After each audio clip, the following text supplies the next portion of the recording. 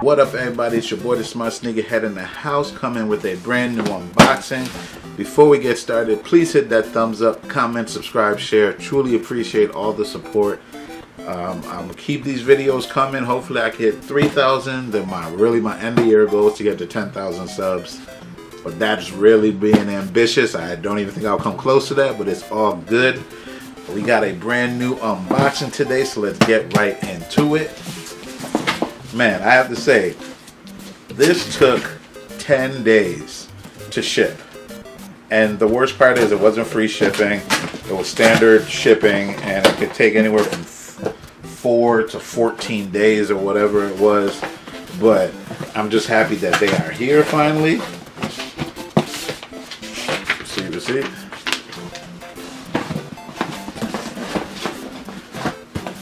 Oh yes. Look at this bad boy right here.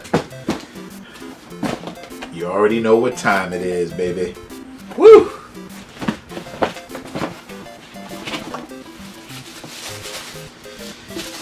Yeah, man. Yeah, buddy. Woo! Yes. We have some fire, flame, fuegos up in here. We are talking about the Vans and Nintendo collaborations that dropped back on June 3rd. This joint right here is the uh, controller colorway. I did want the Super Mario um, and Mario and Luigi um, colorway as well. These were the these were the reissues. These ones here.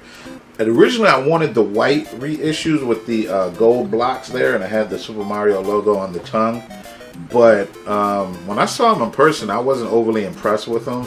Now these ones I ordered online, my local van store. They they didn't have this in my size, but this one is super super dope. Like, how dope is that? It's just sick. These are just executed so well. There is one pair of Old Skools that I need to get that they didn't really advertise too much on the Vans websites and the blogs, but it's this gray with the red brick. Ah, it looks amazing. I'm going to get those as well. But yeah, again, nothing too crazy except the fact that this is Nintendo, and I was a Nintendo head growing up. Never got the original one. Mother would not allow us to have video games when the first Nintendo came out. Fortunately, for the, when the Super Nintendo dropped, we got that for Christmas, and it was the best Christmas ever. It came with the Mario, Super Mario World, and Super Mario All Stars. Yeah, man, let me know if you cop any of these kicks from this collection. Man, these are beautiful. These are just sick, man. These are so sick. Just the touches of Nintendo everywhere on this is just beautifully done. Once again, Vans killed it. This is my third pair of Vans. I had the Supreme um, and Vans Era Lows that I took to my trip to Jamaica.